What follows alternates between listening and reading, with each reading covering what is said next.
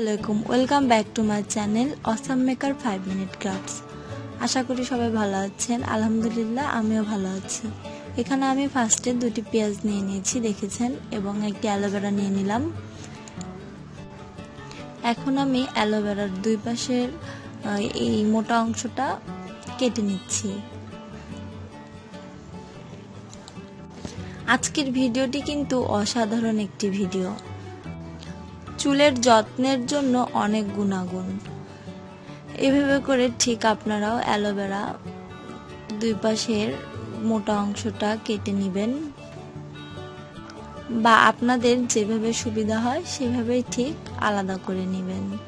এবং যে পেঁয়াজটি দেখেছিলেন ফার্স্টে ভিডিওতে, সেটা আমি কুচি কুচি করে নিয়েছি। এখানে দুটা পেঁয়াজ আছে।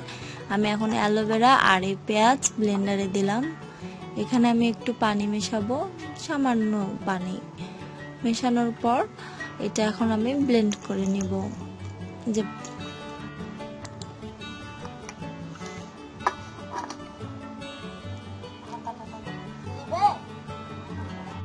আমার ব্লেন্ড করা কমপ্লিট এখন এতে আমি লেবু দিয়ে দিব।